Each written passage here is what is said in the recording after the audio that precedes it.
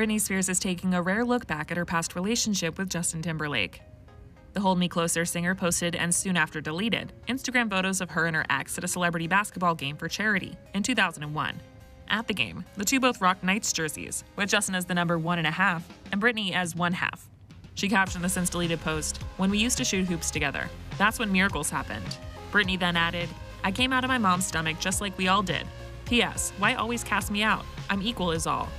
This isn't the first time that Britney has referenced Justin on Instagram in recent years. Back in 2021, she recalled the support he gave her before her 2001 VMAs performance.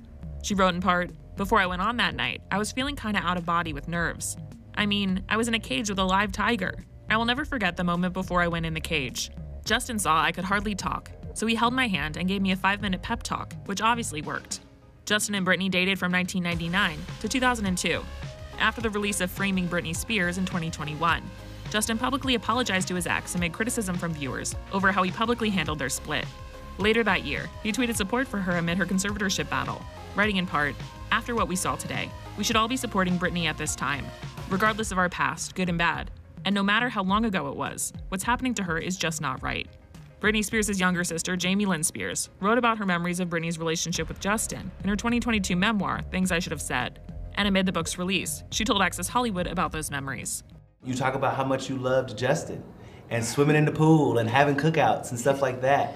Um, and you, but specifically about how he showed you, he was an example to you of like security, of a man who was generous mm-hmm. and loving and kind. Um, and I'm just curious if, if that is something that, do you know that he knew that, um, that he was that in your life?